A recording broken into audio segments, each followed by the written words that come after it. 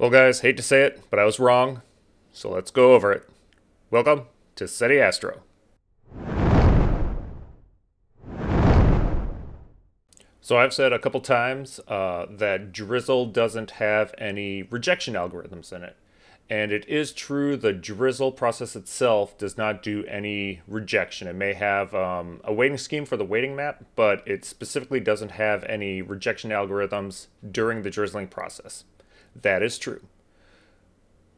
Where I was wrong and um, misled others and myself uh, uh, based on some uh, misguided information that I myself had been given, uh, was that in PixInsight specifically, that during the integration process, it updates the Drizzle files with the actual rejection maps for each file, such that during the Drizzle process, it can recall that rejection map and not use any pixels that were rejected and not uh, drop the pixel values onto the larger pixel grid for the drizzling itself, which would also affect the weighting map, and the weighting maps are also updated based on that rejection map that is established for each image.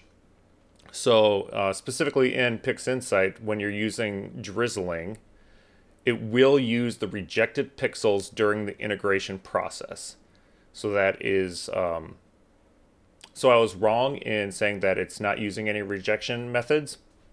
If you're using uh, PixInsight, I can't speak for other uh, stacking software out there, but specifically in PixInsight, uh, the rejected pixels will carry over for the drizzling process. And I did do a, a deep dive into the actual PCL class here for the, the drizzle data. And yeah, it, it, it's down here, uh, roughly in this line 1100. There's a, a boolean if it's uh, been rejected, and then it has the, the map including the position and which channel it was on uh, to create that to pass on to the drizzle algorithm itself.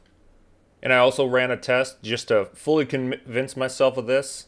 Uh, on one of these images, these are both drizzled. Everything was stacked and done the same way. One, I did uh, my normal ESD rejection method and then on the other, I essentially turned it off. I set everything to zero for that. And um, if drizzling truly didn't use any of the rejected data from image integration, then it wouldn't matter between these two.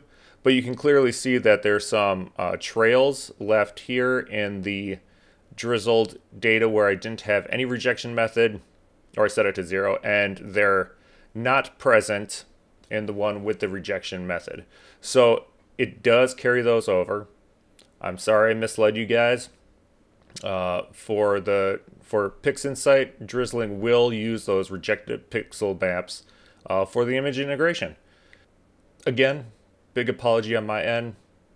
Didn't want to give anybody some misguided data, so I wanted to make sure I, I got this corrected and out to everyone.